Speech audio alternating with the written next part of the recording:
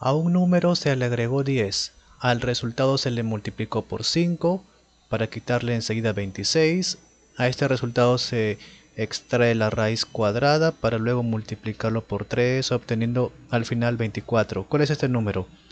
En este tipo de casos donde hay suma, resta, multiplicación, etcétera, así de manera consecutiva, se suele empezar desde el resultado que quedó, acá 24, y retrocediendo haciendo la operación inversa.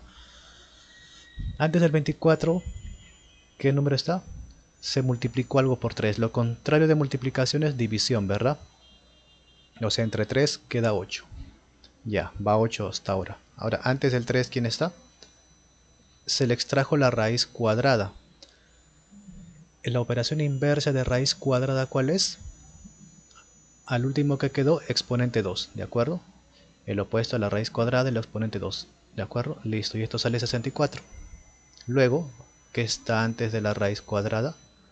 26 se le quita, se le resta, lo contrario de restar, sumar, o sea, el 64 sumo 26. Sale 90, ahora antes del 26 está 5. Se le multiplicó por 5, lo contrario de multiplicar, dividir. 90 entre 5 es 18. Luego, antes del 5 está el 10. Se le agregó, o sea, se, se le sumó y lo contrario de sumar es restar así. 8 entonces sería la respuesta final. Ponemos acá el número es 8 y ahí termina.